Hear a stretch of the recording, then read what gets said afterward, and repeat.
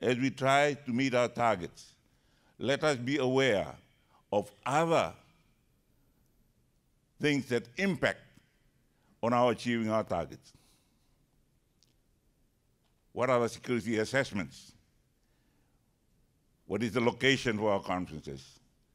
How many do we go to before we get back to our sleeping accommodation? These are the things that we consider outside of the conference halls that we get into.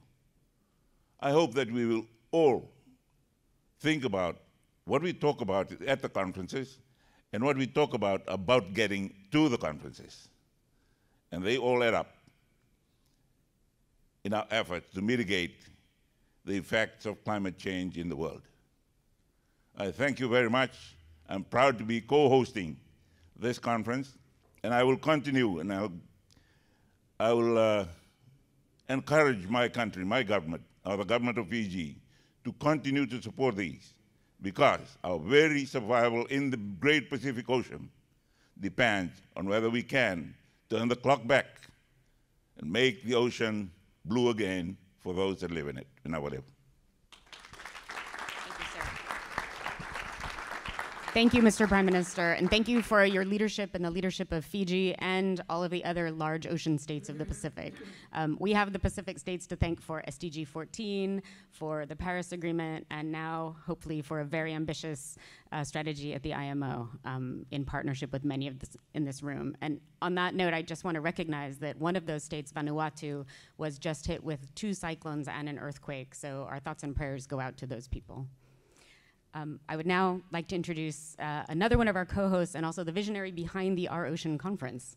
Um, and the reason that we're all here, U.S. Special Presidential Envoy for Climate, Mr. John Kerry. Mr. Kerry.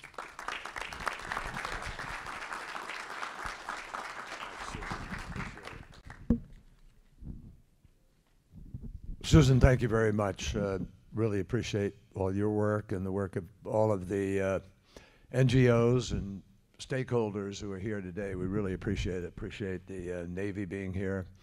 Uh, plays a critical role in where we're heading. And I also very much appreciate uh, my good friend from the United States Senate and neighboring state of Rhode Island, Sheldon Whitehouse. Senator Whitehouse is here, and really appreciate his interest and efforts. And Mr. Secretary of the Navy, I've told him uh, next to the job I have, that's the best job in the world. Uh, anyway, uh, you know, Prime Minister Rabuka, thank you for your comments and thank you for your wisdom and your commitment to this. I just comment, you're, you're absolutely correct about the questions we have to ask about the choices that we all make. Uh, I know that in the last years, because of my involvement in all of this, obviously, yeah, I've become much more aware and, and uh, am fortunate enough to be able to have something of a solar field outside my home to help feed the electricity, and uh, now drive a electric car, which I love, and say to myself, why the hell didn't I start this 10 years earlier? Um, so we have to make those kinds of choices. And, and I recommended to the White House the other day, I walked out of the White House, as I have many times, and, and all these big Suburbans are out there burning away, just you know. And during the summer and the heat, they're they're just churning because it creates the air conditioning that keeps. I mean, we can do. We just don't have to do that. I don't know how many of you know it, but there's a Ford 150 truck now, which is electric. It's back ordered for several years. It has all the power and more of normal of, of, of an ICE vehicle, internal combustion engine car. And we have the ability now to uh, transition with farm equipment, all kinds of equipment that could have all the power that we need to be able to do the jobs they've done today. People just begin to need to realize uh, these options and choices are indeed actually available to us. And I've, I've had the temerity to suggest that, you know, the beast, which is what they call the car that the president rides around in, should be electric. Uh, and we ought to be making that kind of transition, and I hope we will. I suspect it, we actually will. I really do. Um, and yesterday I had a chance to chat a little bit with uh, President Cortizo at lunch. And we talked about the possibility. I mean, look, you, you see those enormous container ships coming through the canal, which is one of the reasons why we wanted to come here. Because this is a great maritime nation. It's it, uh, in so many different ways, not the least of which is it connects the world with the Pacific and the Atlantic and the canal itself, which carries a phenomenal percentage of the world's goods through this canal every year. And so, what they charge in terms of the passageway could encompass some kind of a fee on carbon and some kind of a fee reflecting the loads and the size of the ship and the propulsion of the ship and so forth. And he took that on board very seriously and said, you know, it's really worth thinking about that. Obviously, you don't want a price that is prohibitive. You don't want to be, uh, you don't want to be uh, confiscatory. Uh, you just want to be building up a fund that could help you do other things and that isn't onerous. And certainly that doesn't drive people to say, well, we'll go around because, you know, it's obviously, you know, got to be priced in a smart and intelligent way. But there are all kinds of things that we can do now. And shipping, uh, you know, as I said yesterday, this is not the most complicated challenge in the world in terms of what the problem is and defining it. Uh, you know, this is a battle for air and water and what we're doing to the air and water. And it's not that they're, they're inherently by their, you know, by their uh, structure, the constitution of air and water, it's not that their makeup is the problem, it's what we're putting into it that is the problem. And so we obviously have, have to try to change that. And shipping is right in the nexus between what we do to the air and what we do to the water. And so hopefully we can, uh, uh, given its importance and the scale of the industry is sort of hidden. People don't realize what a big chunk it is. Um, so uh, happily, this conference is producing about 377 individual initiatives uh, for ocean, water, climate, the whole nexus, valued at uh, about $20 billion, which is you know, very significant amount of value that is now being added to the value of the over 100 billion that we've put together over the course of the last seven conferences. And so uh, where we have now probably a total, I think it's a total about 1,800 different initiatives, which we are, which are real, and which we follow, and which we're checking up on. Uh, we're also, and I'm just going to put this on the table quickly, because people need to understand where we're heading. Um, we're we're discussing the uh, reality of having some sort of a small, non-bureaucratic secretariat that can take all the knowledge of each of the past conferences and be the repository of that and help each nation that assumes the responsibility for putting this on to work with the community through the year so that there's a greater input and effort for output.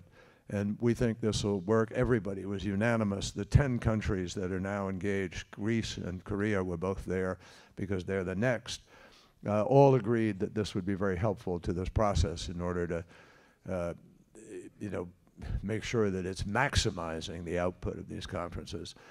So um, we all know that shipping generates uh, more greenhouse gases than Germany or Japan. It's a major, major contributor to the problem right now. And we need to be asking the shipping sector to be taking the same kind of steps that we're asking cement or concrete or aluminum or heavy industry of any kind whatsoever, steel production, et cetera. And we're finding as we do this, folks, it's not quite as tough as we've been describing it. Everybody has said for years, oh, those are the tough areas. So they were kind of the orphans of these conferences because everybody said, oh, it's tough. Let's get to the cars first and we'll get to the power sector first. But the truth is, we're learning, we're producing green cement and it's better cement. And people are buying it because it's better, not because it's green. So we're going to find that we'll surprise ourselves. And I think we're already surprising ourselves in a number of sectors, and that's because we keep pushing the curve. But we have to demand more of the shipping sector. And it's great to see Maersk here this morning. We're very appreciative uh, for that. Uh, Maersk has been one of our members of the First Movers Coalition, first shipping entity to step up and say that of the next ships we build, uh, eight or nine at the point at that point in time are going to be uh, carbon free.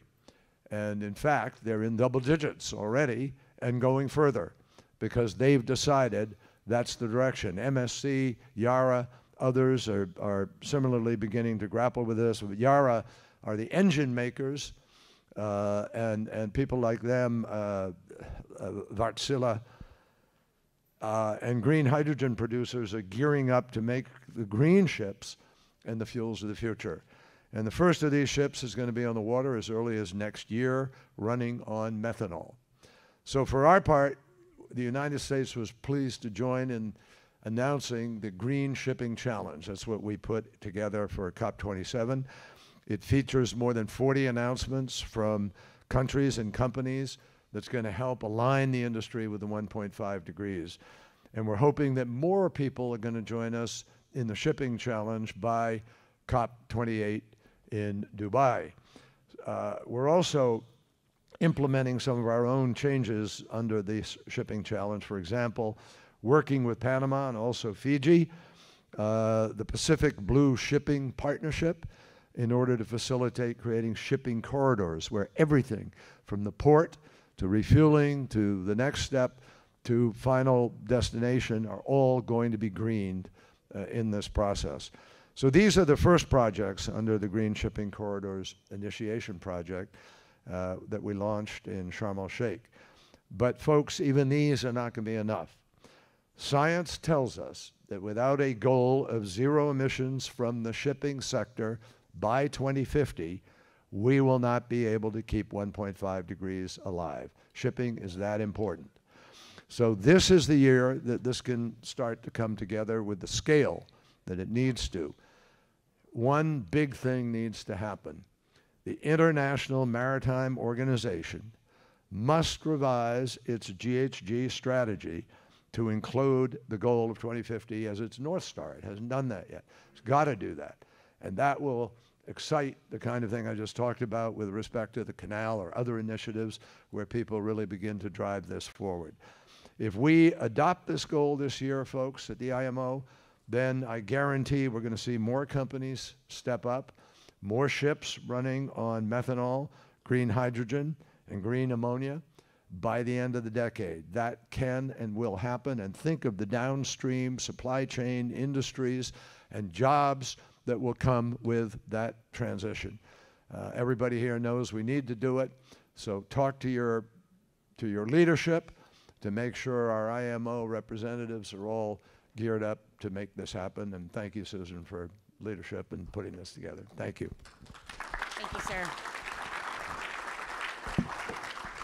Thank you very much, Special Envoy Kerry, for your vision and leadership. And I just, um, as an American, I am very happy to see the strong presence here um, from you, from the ambassador, from the senator, from the secretary of the, uh, the Navy, which I think is unprecedented at one of these conferences and really shows us how important and critical these issues are. So thank you all.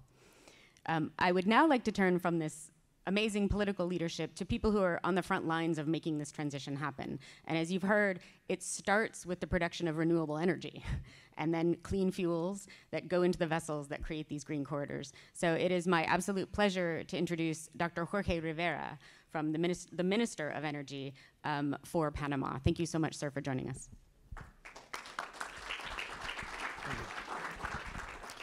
Good morning to uh, everyone. It's a pleasure to be here to, to share some of the ideas and the vision that uh, a small country like Panama has to, to put into place uh, in order to help decarbonize shipping. Um, and how, um, what are we going to do? Uh, well, it's, uh, we are going to continue to do what ha we have been doing in the last uh, around 500 years, is to be a place of encounter, uh, our geography, geog geography sets uh, a lot of uh, our um, task around. And for example, the best way to see it in the last a little bit more than 100 years is the Panama Canal. This is the way to we use in a more efficient way the, the, our geographical and strategical uh, geographical position.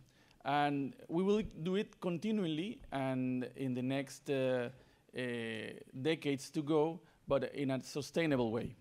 That's the, the, the, the special envoy Kerry and the Prime Minister have been uh, mentioning a keyword, choices. No? We can say we have a geographical position and we are determined by that but we have the opportunity to make choices. And Panama has been doing a lot of choices around that in the, uh, in the recent years. And that's the way that we are presenting right now uh, in this uh, conference, uh, the preliminary announce of uh, the uh, presenting a national strategy for green hydrogen hub here in Panama in the next, I hope, like two weeks from now to be presented to, to receive feedback from the, from the, from the public. And uh, as I mentioned, this is uh, based in, in the choices that we make, the options, the decisions that we have been doing in the, in the recent years and to be a sustainable uh, approach to our already uh, uh, geographical uh, advantages that we have. Um, it's not but a coincidence that, for example, in our national emblem, uh, there's a phrase for the benefit of the world. No, it's signed in our DNA.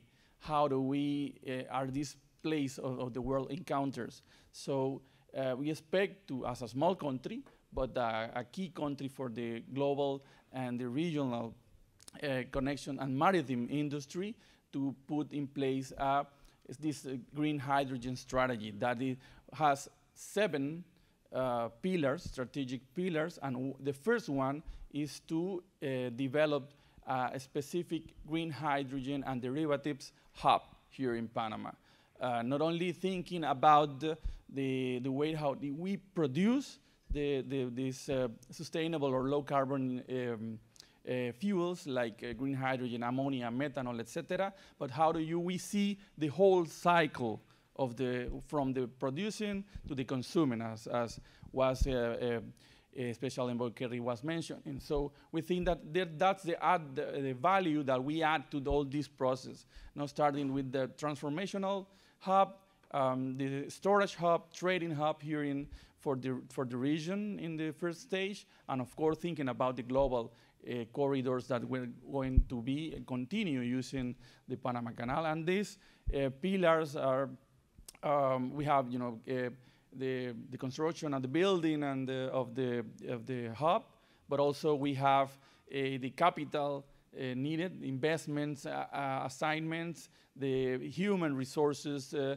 education and capacity building, the regulatory and the incentives and, and policy initiatives, and we have been doing, performing and, and, and formulating these initiatives aiming to 2030, aiming to 2040 and 2050, no? aligned with the, uh, our own commitments from, for the Paris Agreement, uh, the SDGs, and of course right now uh, I am glad to announce that also with the, our oceans platform. We already uh, upload and, and, present formally uh, one of the four pilot projects that we are uh, presenting within this strategy. It's uh, the transformational plan. It's uh, a commitment of $500 uh, project already uh, in this platform. So uh, we think that uh, in the next few years, we can fulfill with the need of the investment from the private sector to fulfill and to develop all these um, initiatives. Uh, we serve the, the world shipping industry, uh, mainly with the, the Panama Canal, but there's a lot of auxiliary and uh, related activities around the Panama Canal, the ports around the Panama Canal. And we think that with that, one of those uh, activities and services is the bunkering service that we provide to the vessels that crosses the canal right now. So we wanted to, to improve that bunkering activity that we already been doing in a sustainable way with the green hydrogen and derivatives. And we expect by 2030 that at least 5% of that green uh, bunkering offer that we, have here in Panama comes from green hydrogen and derivatives. And we expect by 2040 that this 5% comes up to 30%. And by 2050, that 30% comes up to 40% of all the, the, the bunkering activities we are uh, offering here in, in, Panama will come from renewable um, uh, uh, fuels. So we think that the, that's the vision that we have, no? the choices that we make, the decisions that we make. Panama is a green, uh, a carbon negative country. We have to keep pushing that uh, in that leadership around the world. Our energy matrix comes like from above 80% of uh, renewables right now, and we expect to climb up that to 90% in the next uh, uh, seven years. So we think that we have the conditions, we have the know, the natural resources, but we have the ability and the, the willingness to do this in a sustainable way, and we are, we are going to do it together. Now, we think that uh, this is something that we uh, keep telling ourselves and the stakeholders that we work on here in the, our, our national energy transition agenda. That's that uh, actually this strategy forms, is part of that uh, broader uh, national uh, energy transition agenda. And as we keep saying, you know, you don't wait for the future. You build the future with the decisions you're making, and we are doing it together right now. Thank you very much. Thank you for those very inspiring words, Dr. Rivera. And, and just to say, I mean, Panama, I think you were very modest. Panama may be a small country, but it is a maritime powerhouse. And so, as Panama's vision and leadership um, goes, I think we will see a lot of other countries follow. Um, and so I'm very excited that, uh, to see your vision. Um, I would now like to introduce uh, the man who I think many have referred to a little bit here, um, but the man who has the job of, at the international level, um, making sure that this vision is also um, implemented and, and really bringing his vision to this work. So uh, it is my honor and privilege to introduce the Secretary General of the International Maritime Organization, Mr. Kitack Lim.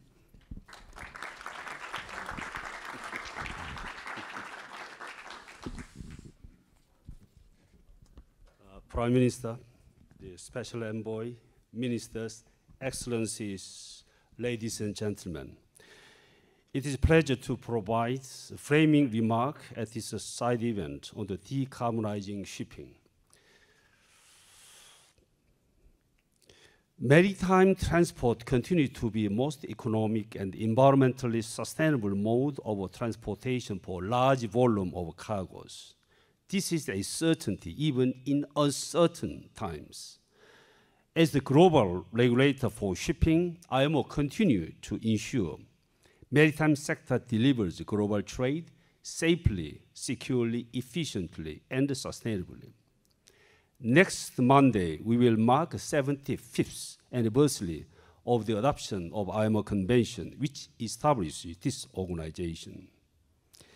As we continue on shipping's journey, toward sustainability, shipping must embrace decarbonization alongside digitalization, innovative technology, all the while ensuring human element is a kept front and center of the technological transition. As the whole world unites for fight climate change, the biggest challenge facing shipping is reducing its greenhouse gas emission. Next five months are crucial to ensure IMO showcase its global leadership toward the efforts to decarbonize shipping. We must lead the way and provide the global framework for the maritime industry to strive for green shipping and at the same time, we must ensure we leave no one left behind.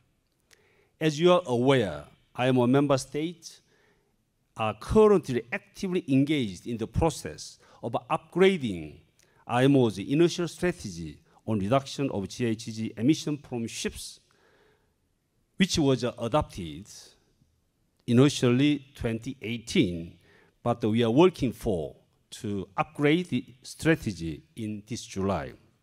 The revised strategy containing a basket of technical and the economy measure will provide necessary certainty for all stakeholders to invest for future.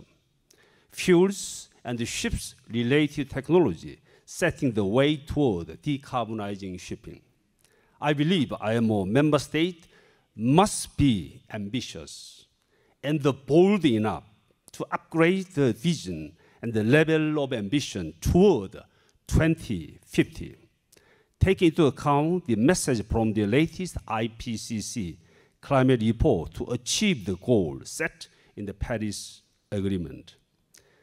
IMO is alongside working to support the member states in their implementation of measures agreed to ensure no one is left behind in transition toward decarbonized future for shipping. I see great opportunities for many countries to be part of the new green future that will see low and zero carbon fuels being produced and supplied globally, but also from retrofitting ships and digitalizing port operations.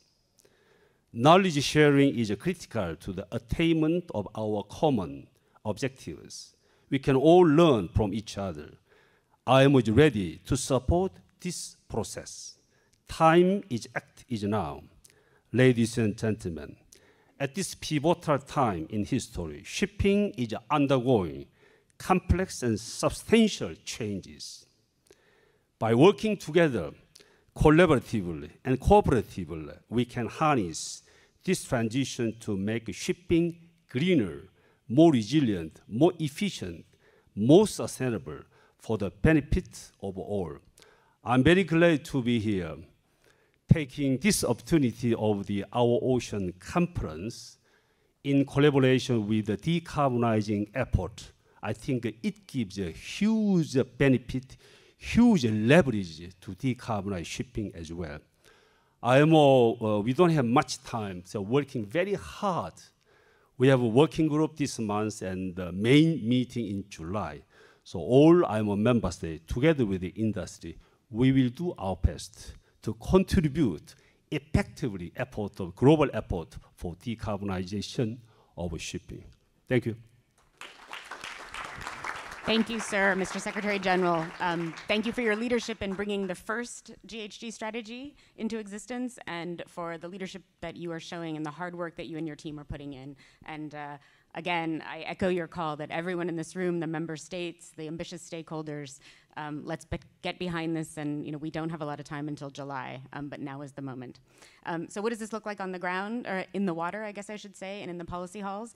Uh, to answer that question, I am going to turn over to my colleague, Jan-Christoph Napierski, who is the head of regulatory policy at the Maersk Mc-Kinney Møller Center for Zero Carbon Shipping. Uh, Jan-Christoph, you have the floor, and he will bring up an amazing panel of people to tell you what this looks like.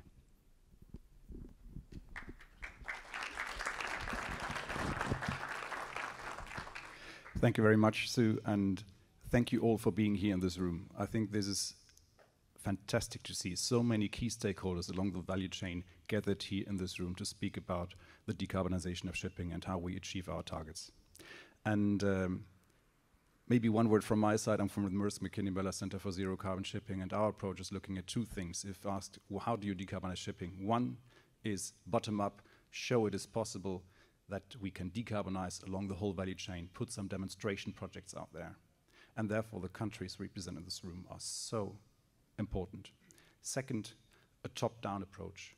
Use policy measures to demonstrate it is possible to upscale these solutions to the volumes we need globally, and therefore the zero by 2050, as mentioned before, is absolutely key. With these words, I'm very, very happy and proud to present three panelists that come exactly from the elements we need here from the public sector and the private sector. So allow me to welcome US Deputy Special Envoy for Climate, Sue Biniaz, to welcome President of Maersk, Central America, Andina, and the Caribbean Sea, Antonio Dominguez, and Executive Director of the Sustainable Shipping Initiative, Andrew Stephens. Please take place in.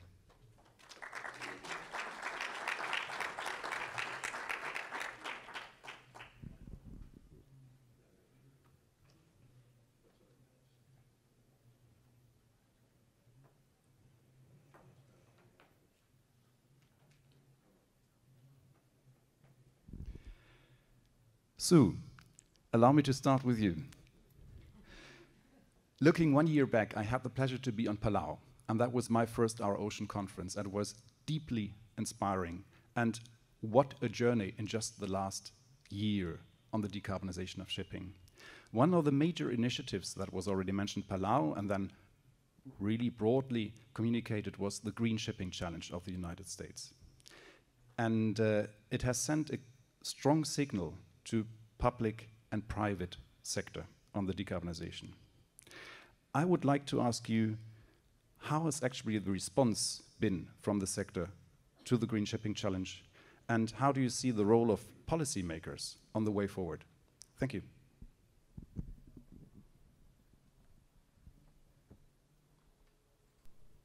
Can you hear me okay? All right, thanks for that question. Um, I recall about a year ago, Susan asked me in a small classroom in Palau, uh, what's the future? What should we be doing about decarbonizing the shipping sector? And I said something like, the international shipping sector needs its own our ocean moment. And I think that catalyzed for us what we needed to do um, moving forward and on the road to COP27. So um, in May, we talked to our Norwegian friends and we sort of concocted this idea of a green shipping challenge. We took two of the declarations from Glasgow. There was the Clydebank Declaration on green shipping corridors, and then there was the Zero Emissions from Shipping Declaration. And we sort of combined those into one idea, elaborated them, and then went around kind of shopping for uh, supporters, volunteers. Over the summer, we raised it at the Major Economies Forum, which uh, President Biden held at the leader level, and we got quite a bit of support from the major uh, individual members of the Major Economies Forum on the road to uh, COP27. Ultimately launched the challenge at a high-level event at COP27. Some of you may have been there, and we were kind of surprised at how good a reception we got at the our Sharm el-Sheikh, our ocean green shipping moment. Uh, we got uh, at least 40 commitments, not only from governments, but from the private sector, from NGOs, from ports. Very interesting combination of, uh, of actors. Um, some of the examples, we got investments in next generation vessels, such as a commitment for 200 new sail-powered cargo ships by 2035. We got announcements on the production of zero emission fuels, such as new partnerships to build the first e fuel hubs. We got announcements on the development of new green shipping corridors. We already had one between Los Angeles and Shanghai. We got another one between Los Angeles and Singapore. And we made several announcements about what the United States uh, itself or ourselves were doing. Uh, a bunch of new commitments. The first U.S. maritime decarbonization strategy, a number of initiatives related to green shipping corridors. Um, for example, three new bilateral work streams, one with Korea, one with Canada with respect to traffic on the Great Lakes, and one with the UK. Um, we announced with partners in the uh, zero emission shipping mission the launch of a green shipping corridor hub, which is a, we think, a useful online platform with resources and tools to aid the creation of green shipping corridors around the world. And we launched our Green Shipping Corridor Initiation Project, which is basically money to support feasibility studies for green shipping corridors involving uh, developing countries.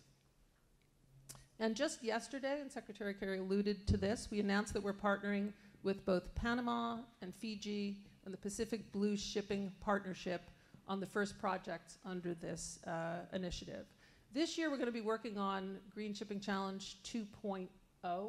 And so everybody should look forward to that. We'll be doing some kind of event at COP28 in, uh, in Dubai. And I just wanted to second uh, or third the notion that we really need a positive, ambitious outcome at the IMO in July. Critically important, particularly since those emissions are not covered by most countries' NDCs under the Paris Agreement, which I think is a fact that often goes uh, unnoticed. It's, uh, those are like uh, additional emissions, about 3%. Uh, we were successful last year at ICAO uh, coming up with the 2050 global goal for international aviation, and we need to do the same thing this year with respect to uh, maritime emissions. Thanks. Thank you very much, Sue. And uh, that is a clear proof of how much has happened just in the past year and month. And I'm very much looking forward to what's going to happen in the next month, especially on the pathway to July. But going from public now to private, and Antonio, Maersk. Many perceive you as being an icebreaker from the private side on the decarbonization of shipping. But many also ask, why do you do it? Does it actually make sense to, to do this as, uh, as an icebreaker? And what is actually the benefit for, for your customers and yourself in this? Because clearly there is a lot of costs in the beginning connected to this. So happy if you could share some of your insights. Thank you. Thank you for the question, first of all, and glad to be here. I think that we are all leaders in this room. By definition, leaders lead. They set a vision, they lead the way. They, they make things happen. You need to make the impossible possible. That's what a leader does. And when, when we see what is happening in shipping, we cannot shy away from that responsibility. There's a bunch of excuses out there, you know, there's a chicken and the egg dilemma. Should we need for the fuels to be developed before ordering the vessels? We don't order vessels because there is no fuel. There's a lot of excuses. But when we talk to our customers, when we talk to our family members, they need action. They need leaders to lead the way and show actions now. But if something is certain, is that the pandemic has showed us that actually the emission of gases went up, not down during the pandemic. And I explained that to students at schools. It's very easy. If you are driving your car faster, are you getting more emissions or less emissions out of that car? The faster you go, the more emissions that engine will produce. It's the same in shipping. If we are all having congestions in ports, if you cannot get your cargo out, if you need to rush from one port to the next, of course there will be more emissions. So when Maersk decided to go ahead and in 2018 said we're not going to buy any new vessel until we understand what's the new fuel, that was not an easy decision. That took a lot of courage because there was not new fuel out there. So we went into actually researching and understanding what could be that new fuel. And there was not a single fuel out there that could replace fossil fuels. But there was something certain in our minds. We will not go for trans, uh, transitional fuels. We will not go into LNG because that's also fossil fuel. We need to find something clean, something green. So after four years of research, we came out with a solution that it will be on ammonia, on methanol, on alcohol. And then it comes the moment of truth. Do you believe in your recommendation? And we put $2 billion behind that. And we ordered nine vessels first, Special Envoy, and then 12, and now 18 methanol vessels. These big mammoths that you will see in the ocean in 2024. There is one coming out this year already. A big feeder being in, uh, in Europe to show that it could happen. It will be in the water in a couple of months. And guess what? When we order those vessels, then we open a new market for the production of methanol. I'm glad to report that when we ordered those vessels, there was not a single company out there who were able to produce methanol for one vessel, not 12.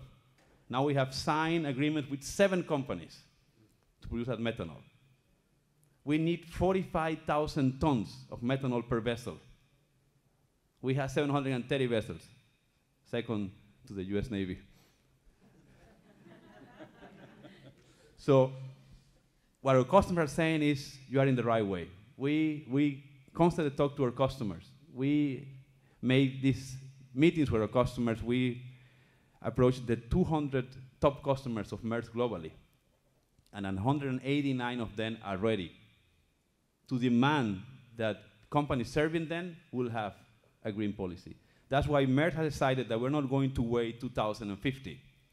Maersk will decarbonize our entire network in 2040. And that's not only shipping, because we are a, we are a logistics company. We are beyond the ocean. We have airplanes, we have warehouses, we have, we have 500 warehouses around the world. We have trucks, we have railways. We're going to decarbonize the entire ecosystem of Maersk. In 2040, we'll be completely net zero in a couple of years. Thank you.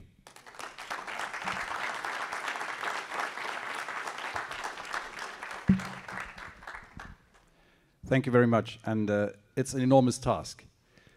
Being myself from, from Denmark, one remark on this. The first 12 ships, the energy to produce the fuels, if it were to come from Denmark, it would suck up all the green energy produced in Denmark, just for the 12 ships.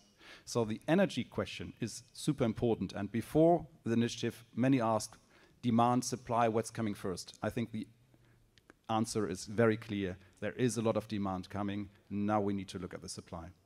And with this, let me also then go directly over to Andrew Stephens and Sustainable Shipping Initiative, because another key factor here is also the crews, the staff on the ships, and a number of other elements that play into it. We see a lot of positive commitments from the shipping sector, apart from Maersk.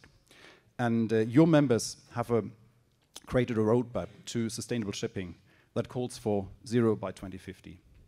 It also calls for improving resilience in the sector and ensuring the training of seafarers. And seafarers are absolutely key. Some claim that we will need 800,000 well trained new seafarers by the middle of the next decade. So there is an enormous task in front of us. How is it good for business actually to do this? Please enlighten us. Thank you, Jan-Christoph. Uh, interesting question and, and, great backdrop there.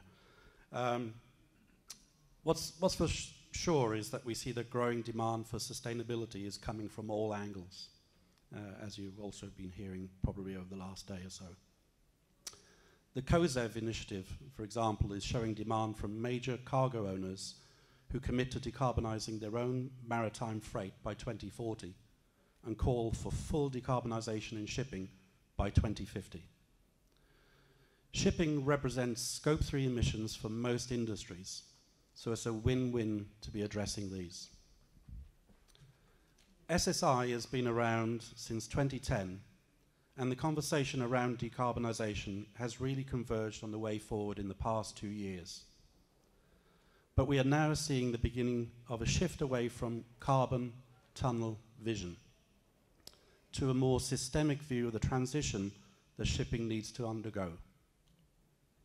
Thinking of the roadmap, vision areas such as oceans and biodiversity, communities, people, transparency, finance, and energy. These are all key factors in facilitating the pathway to a decarbonised, sustainable, and resilient maritime sector, which is aligned with the Paris Agreement goal of limiting warming to below 1.53 degrees Celsius. Good for business can be interpreted in different ways, and there are certainly companies that stand to gain from being early adopters of sustainable solutions. Maersk is one example of a first mover in this space. At the same time, good for business is becoming a license to operate in an ever changing world with planetary and social boundaries to take into consideration.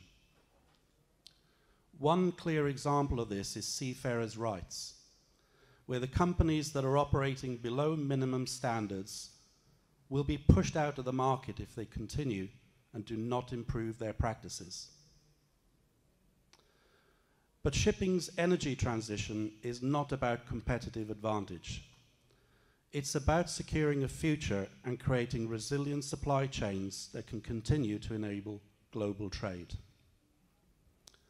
Without mitigating action and adapting to these impacts already seen because of climate change, it will become more difficult to operate in the future.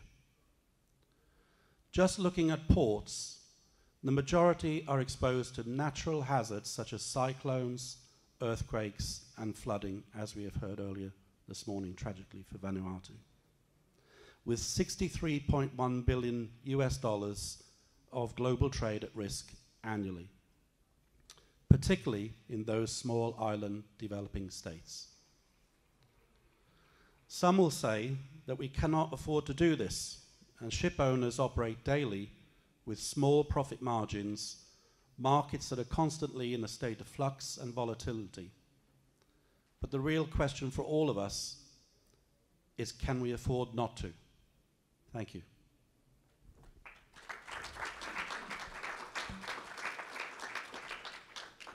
Thank you very much, Andrew, and thank very much. Thank you all uh, for, for your remarks here. I think that was a very strong plea for a strong private and public partnership on the pathway to decarbonization, both for the concrete projects and for the policy that is needed. And uh, with this, I'm happy to pass on the mic again to Susan for some closing remarks. Thank you. Thank you all so much for those remarks and for really just making very tangible and clear what is happening and what we can be doing. So we're a bit over time. I'm just going to give three things that I heard. Um, great panel. Thank you all so much. It's been amazing. Um, the first thing I'd say is July is a really important moment. we, you know, we really need to get this right at the IMO. We have an opportunity to set a trajectory that will be 1.5 aligned to zero by 2050 in this sector. Um, and so we should all rally around that because that will help to set the stage for all of this amazing work. Um, and that that is an enforceable path, which I think we don't often get in the ocean world. So we should take advantage of that. Um, second is we need the full value chain to be part of this. Um, Mr. Minister, thank you so much for coming because I think it shows from the very production of those green and uh, renewable fuels, renewable energy, renewable fuels, all the way through, we need to be part of this. And the, the great news is we have that full chain here um, to make this happen. Uh, cargo owners, demand from shippers, from ports, from communities, so we can make this happen. And the third thing is there is a path for this so-called hard to abate sector to be a model for how we can transition a sector, not just for mitigation and be on a 1.5 aligned path, but also for resilience, for a just and equitable and resilient transition, because all of these pieces have to work together. So I'm energized by this panel. Thank you all so much, um, and let's go forward and do good work.